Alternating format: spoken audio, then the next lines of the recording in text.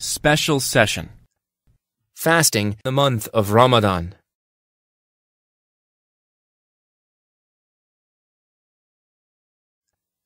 God says, You who believe, fasting is prescribed for you, as it was prescribed for those before you, so that you may become mindful of God. Chapter 2, verse 183. Allah, the All Merciful, begins this verse by addressing the believers in order to put ease and comfort into the obligation of fasting. It is as if God is saying, O you who have trust in me and have loved me, I have made fasting obligatory upon you. When a command comes from the one you love, you do not see it as a burden. Rather, you see it as a benefit. Let's clarify this with the example of a loving father asking his daughter to do a difficult task.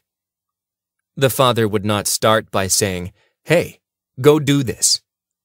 Rather, he would approach his daughter with love and say, Oh, my beloved daughter, would you do this for me?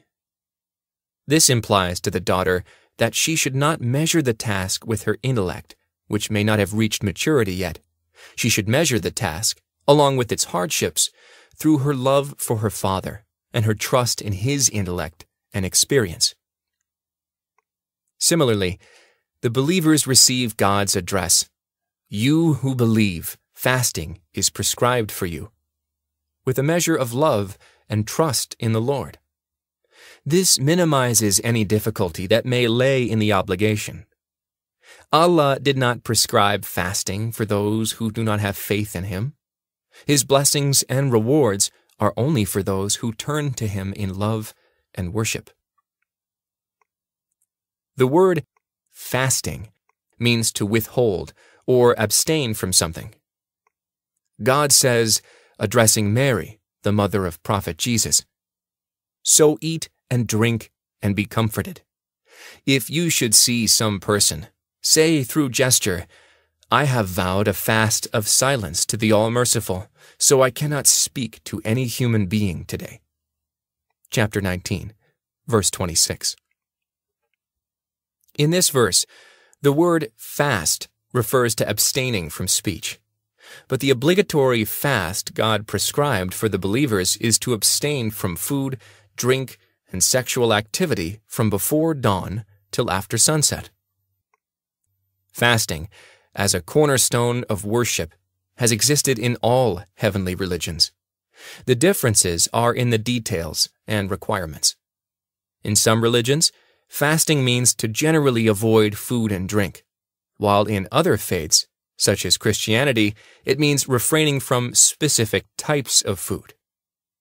All, however, share the goal of promoting discipline and mindfulness. Thus, God ends the verse with, so that you may become mindful of God. We know that the phrase, mindful of God, translated from the Arabic origin, tattaqun, means to guard yourself from God's attributes of grandeur and to fear his punishment in hellfire. It is through self discipline and through having the upper hand over your desires that you can be mindful. Most sins stem from materialistic greed or a desire for something, whether money, power, the opposite sex, or other addictions. Fasting weakens the greed for materialism, decreases its intensity and domination over the mind. The messenger of God, peace be upon him, said to the Muslim youth, Whoever amongst you is capable of providing for a family, then let him or her marry for indeed it lowers the gaze and protects the private parts. And whoever cannot marry, he or she should fast, for it will diminish desire. When you reduce the consumption of food, you decrease the energy available to fuel materialistic desires and greed. This, in turn, helps you overcome the drive to commit sin. Fasting in the month of Ramadan gives you the opportunity to be steadfast and to experience the sweetness of being upright and mindful of God. Allah also blessed this month with the revelation of the Quran, which is sent to help you train yourself towards spiritual purification and higher moral values. So, the month of Ramadan disciplines both the body with fasting and the soul with the Quran. God says, It was in the month of Ramadan that the Quran was revealed as guidance for mankind, clear messages giving guidance and distinguishing between right and wrong. You should, however, keep in mind that Allah does not ask you to be steadfast and mindful only during Ramadan. He has appointed Ramadan as a time for you to train yourself so that this quality becomes a part of you.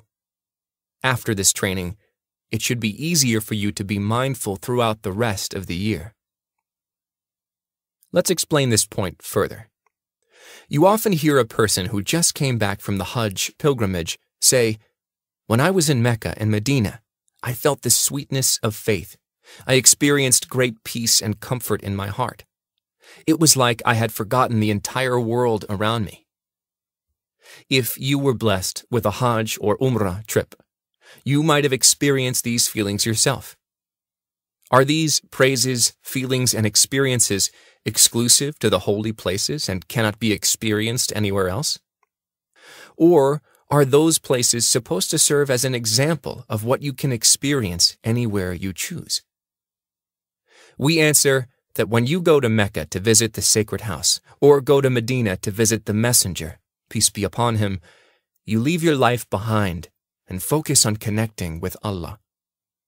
But you are well aware that God is with you everywhere. It is the act of focus and sincerity in worship that brings you closer to Allah and His Messenger. There is no doubt that worship while in the vicinity of God's sacred house is distinguished. There is also no doubt that the purity of these places makes you ashamed to commit any sin while in the vicinity of God's sacred house and in the presence of the Prophet. The moment you hear the Athan call for prayers, you rush to perform prayer with devotion. Shouldn't you, then, adopt this sincerity and rush to prayer in every place and at all times? If you do so, you will experience the same psychological tranquility and peace whether you are in Mecca, Cairo, or Beijing. When the Almighty chooses a specific place, time, or person, He intends the selection to extend by example to all mankind at any place and any time. I am surprised by people who welcome Ramadan by exalting God and reciting His verses only to forget everything as the month ends. They have missed the whole point of Ramadan. Now let's move to the next verse in the cow. God says, For a specified number of days. But any of you who are ill or on a journey should fast a number of other days. But for those who can manage to fast with some hardship, there is redemption by feeding a person in poverty. Yet, better it is for him who volunteers greater good, and that you should fast is better for you, if you only knew. It was in the month of Ramadan that the Quran was revealed as guidance for mankind, clear messages giving guidance and distinguishing between right and wrong. So any one of you who is present that month should fast, and anyone who is ill or on a journey should make up by fasting on other days later. God wants ease for you, not hardship. He wants you to complete the prescribed period and to glorify Him for having guided you, so that you may be thankful. Chapter 2, verses 184 and 185. The specified number of days mentioned in the first verse is clarified in the second where the lunar month of Ramadan is assigned as the month of fasting. Allah, the All Merciful, is well aware of the circumstances that may make fasting difficult or burdensome. Thus, He has prescribed exemptions to address these situations. These exemptions were clear and specific travel or illness. This clarity suggests that you should not make up your own rules regarding when it is okay for you to fast or not. be mindful that there are some people who claim that some religious obligations are too much of a burden for them.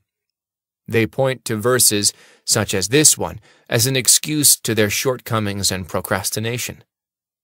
God says in the 286th verse of the cow, God does not burden any soul with more than it can bear. Each gains whatever good it has done, and suffers its bad. Chapter 2, verse 286. Some people misinterpret this verse for their own benefit. They think that it is up to them to decide what they can bear and what they are not able to do. When they are faced with a religious obligation that they like, they do it. When they are faced with a religious duty that is tough or inconvenient, such as fasting long summer days, they say, We are not obligated to do it, because God does not burden any soul with more than it can bear. In other words, they want to be the judge of which of God's commands applies to them. The truth is exactly the opposite. Allah is the best judge and has absolute knowledge of what you and I are able to do.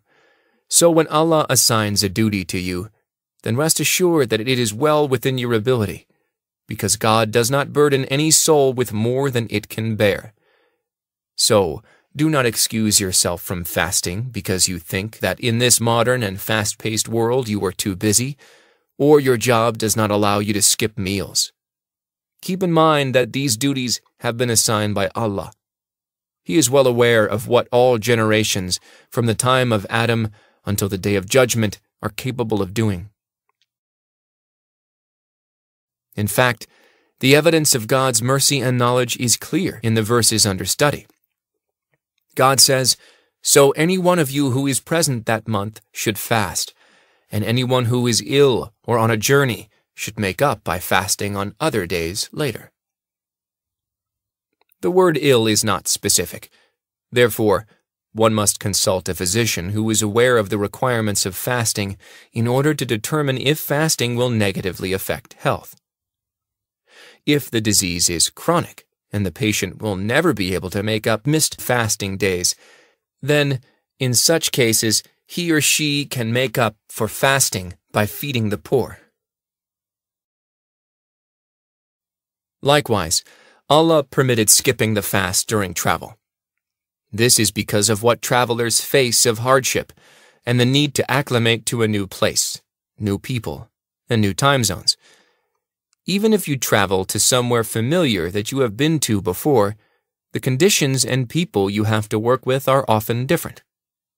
Here again, there are some who argue that travel in our time is totally different from those in the olden days.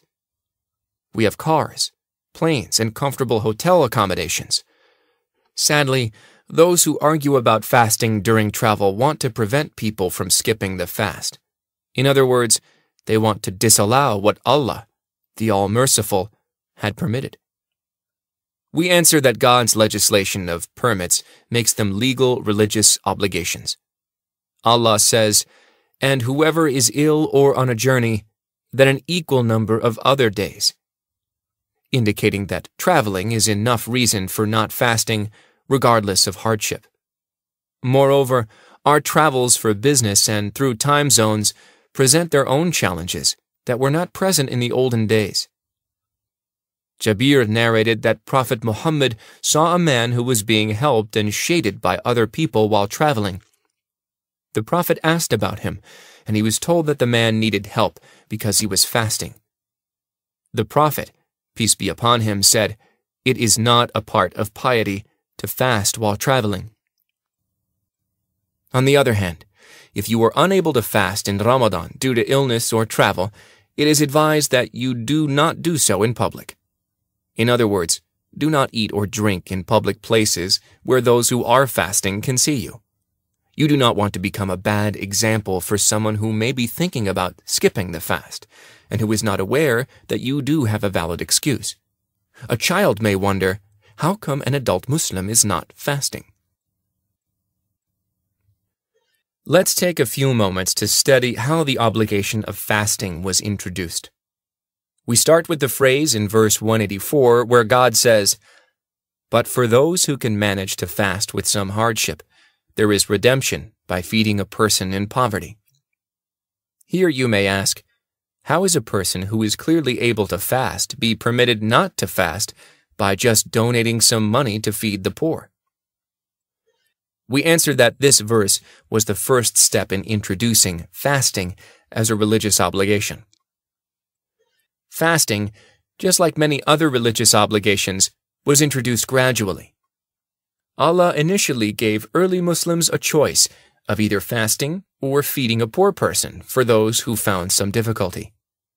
Later on, as more and more Muslims got accustomed to fasting, Allah made fasting the month of Ramadan obligatory.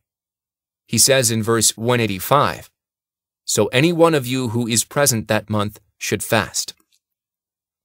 Note that in this verse, there was no mention of feeding the poor as an alternative to fasting for those who are able. Feeding the poor as an alternative is now reserved for those who are not able to fast permanently, such as the elderly or a person with a chronic illness. The verse continues, And that you should fast is better for you, if you only knew. This phrase was another step forward on the road toward making the fast an obligation. Fasting is a method to help discipline oneself.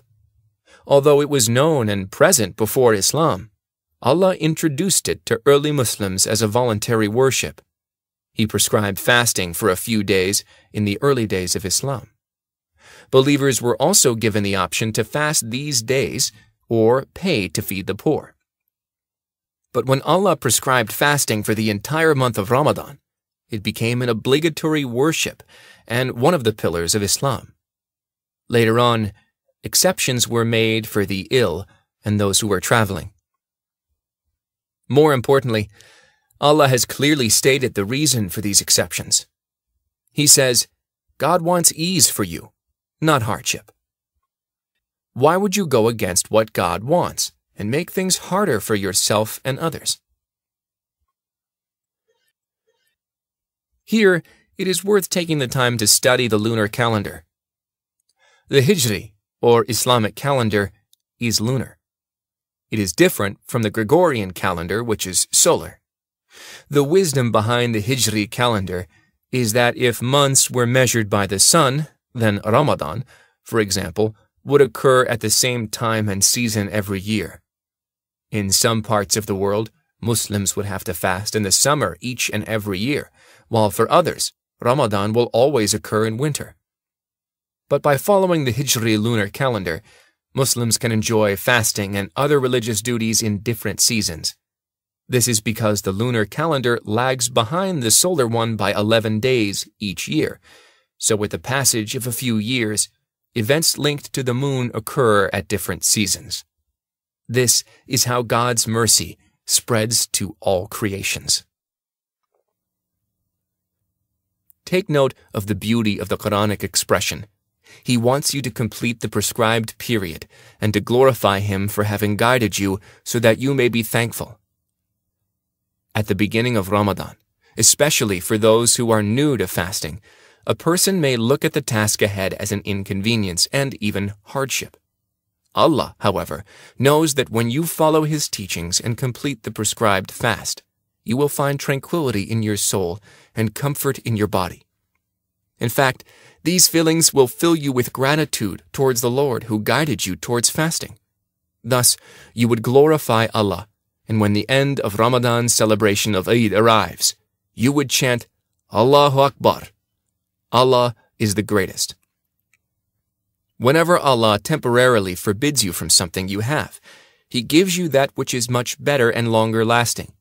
When He temporarily prevents you from the essentials of life, like food and water, He grants you that which is essential for eternal life, like forgiveness, mercy, and paradise. The Prophet, peace be upon him, said, Convey my teachings to the people, even if it is only a single verse. Please take a moment to subscribe and to share with your family and friends.